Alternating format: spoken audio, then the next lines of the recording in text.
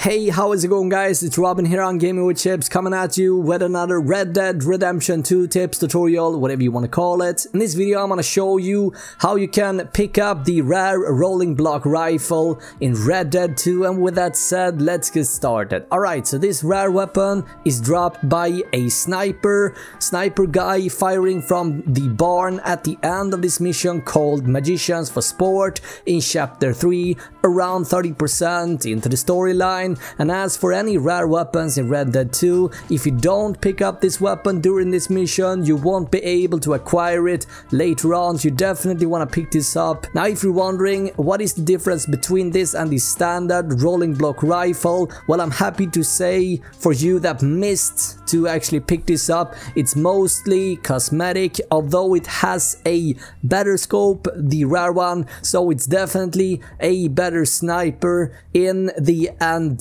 of the day but as far as the stats goes the rare rolling block rifle has the exact same stats as the standard one but with a nicer and cooler look to it. Other colors and some nice markings and illustrations made into the wooden material of the weapon. But yeah that's basically uh, where you find this rare weapon in Red Dead Redemption 2 now I'm gonna be back with more videos in just a second second in the meantime there are plenty of guide tutorials to find on the channel already. And uh, yeah let me know what you think about the game so far.